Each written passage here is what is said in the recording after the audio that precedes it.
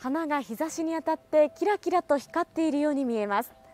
風に揺られてカサカサと鳴る音にとても癒されます。本宮市にある花と歴史の里蛇の花では幅およそ10メートル奥行きおよそ80メートルの名物藤棚が今見頃を迎えています。今年は例年より1週間から10日ほど早く見頃を迎えたということで訪れた人たちは季節を彩る藤の花の美しさを堪能していました。